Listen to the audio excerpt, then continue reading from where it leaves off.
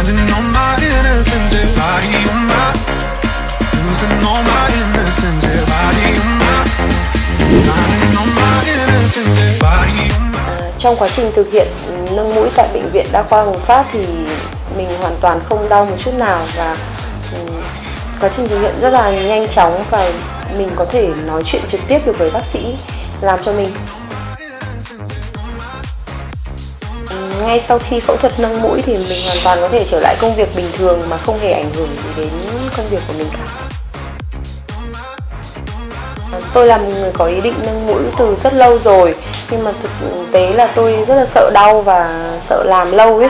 Thế nhưng mà khi mà phẫu thuật xong thì mình mới cảm nhận được là ừ, mình không đau một chút nào ấy.